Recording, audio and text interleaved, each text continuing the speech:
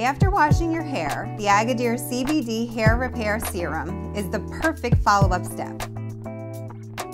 Infused with 50 milligrams of CBD, this product is 100% organic hemp and 100% vegan.